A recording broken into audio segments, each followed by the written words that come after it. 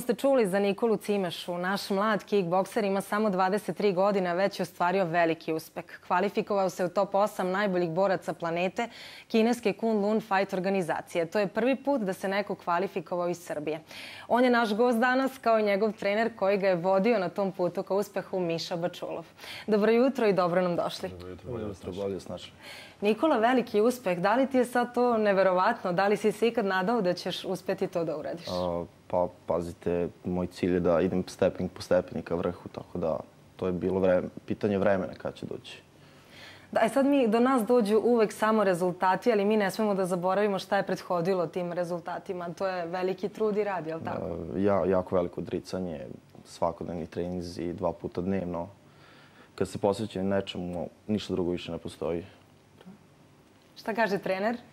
Pa naravno, pa vidite ovako, ovaj, e, sama koncepcija našeg kluba jeste da, da od njih napravimo najbolji što mogu da budu u svakom aspektu. Znači, mene medalji titule me stvarno ne interesuje. Bitno mi je da oni nauče da u svakom trenutku, u svakoj situaciji daju svoj maksimum i rezultati uvijek dolaze. Da, tako i Nikola Cimeš. Nikola Cimeša je e, uh, dečko koji uh, je posjećen tome što radi, uh, Eh, ima poštovanje, što naravno krasi našu veštinu. Mi moramo da poštujemo sve da bi bili najbolji što možemo da budemo uporan je, puno se odriče i rezultat je došao sam sebi. To su i osobine koje su poželjne u kickboksu. Naravno, naravno, to su najpoželjnije osobine. Dakle, uspeh je zbir malih napora ponovljenih iz dana u dan, kako kaže taj izrek. Da, da, da. Je li tako? E, e sad, e, znamo koliko je važna i fizička priprema, ali je važna i mentalna priprema jednog sportiste. Tu pretpostavljamo nastupate vi, evo i neki treneri čak... Mentalni trening je u suštini najbitniji kod nas. Je to ono što nas dijeli. Svi treniraju jako, svi treniraju marljivo, svi imaju trenere i za snagu i za, i za brzinu i za tehniku, svi putuju po svijetu, sad se sve otvoreno, nije kao nekad kad smo bili granice zatvorene pa smo bili usmjereni na ono što dođe do nas. Sad smo bukvalno, uh, bukvalno smo svugde i, i to ono malo što nas dijeli jeste ta mentalna priprema. Mislim, mi to dosta posvećujemo pažnje. Nikola, kako to izgleda u tvom slučaju? Mm, kako izgleda u mom slučaju? Da, mentalna priprema. Pa, pazite, s, s, svaki put je drugačija priča pred svaki meč. Svaki ima svoju priču, tako da... Da li možda nam kažeš neki primjer? pa, na primjer, pričam sam sa sobom.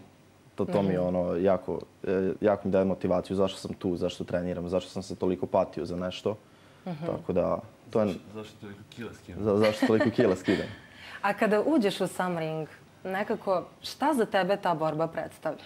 Uh, to je to, da pokažem ono što, zašto sam se trudio, svoju veštinu i ovaj, dati sve od sebe, to je po meni najbolje rečeno.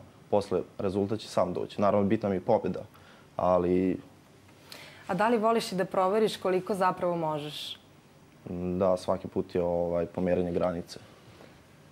Kada si... Jeste vi želiš nešto? Ne, sam ovaj, uh, u novom nivou i uh, kod profesionalnih mečeva u prostom trenu uh, svaki borac je na jednom jako visokom nivou. I mi nikad nismo, da kažemo, favoriti ni u jednom meču. Niko nije favorit. Svaki meč je 50-50% šanse da se pobedi. I to, to što da, što da taj, taj 1% više za pobedu je upravo to. Upravo ta volja i upravo taj trud, rad i upravo uh, ta jaka psiha. I to je ono što i vi želite da ih naučite. Naravno, to je poenta svega, to je poenta života. Koje još prednosti želite da prenesete na njih, a možda nešto što ste i vi imali u vašem iskustvu? Pa vidite, ovako, ja kažem, meni, meni nikad nije bilo ovaj, e, primano da budem trener. Ja sam slučajno postao trener, otvorio sam klub e, da bi pomogao prijateljima. Kasnije sam ja preuzeo i onda je to krenulo e, ka nečemu, ka nečemu višem. Ja kažem, meni je cilj da od njih napravim da budu dobri ljudi, Eh, da znaju da u svakom aspektu svog života, u školi, eh, prema po, eh, u porodici, svugde daju svoj maksimum.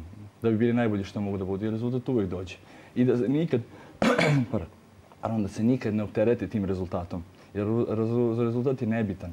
Ako vi naučite da pobedite sebe, ako naučite da izvedite sebe, da budete najbolji što možete, vi ćete i biti. A Nikola, koja je to najveća lekcija koju si naučio na tom putu? Evo, pretpostavljamo da je bilo izazova. Da li je postalo nešto što si morao da promeniš u sebi da bi doživeo uspeh, da bi došao do uspeha? No, pa, pazite. A, na ovom putu imao sam dosta padova i to sam ono naučio da što ste više istrajni i kad padnete najniže, ako nastavite da samo nastavite, nastavite, nastavite, da ćete uspeti, bez obzira koliko puta padnete. Dakle, važno je da nikada ne odustane. Nikad, nikad, nikad. E sad, ono što je zanimljivo, mnogi sportisti, svi mi imamo neku osobu koja nam je inspiracija, na koju se ugledamo, koja nam je uzor. E, sa kojom osobom bi ti voleo da se nađeš u ringu jednom? A recimo da ti je ta osoba uzor. Sa Davidom Kirijom. Zašto baš sa njim? Zato što po meni on je borac sa velikim srcem i je, kad sam krenuo da treniram, gledao sam njegove mečeve, a sada je to moguće, pošto on je isto u tom turniru, među osam najboljih, tako da...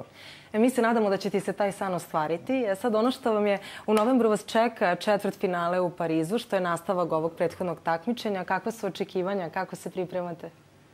Očekivanja su, očekivanja su kao i uvek. Mi treniramo da pobedimo, mi idemo da damo svoj maksimum. U ovom nivou, mislim, niko iz svojih prostora nije došao nije došao do tog nivoa takmičenja. To su stvarno borci koji imaju po 5, 6, 10 svetskih titula na svom ramenu i od kojih stvarno može sva, svako da osvoji. Mi smo tu, recimo, uh, uh, došli smo sad iznenađenjima i sve smo iznenadili i ja mislim da ćemo tako, tako da, to, to doćemo da iskoristimo, da nastavimo dalje da pobeđamo. Nikola?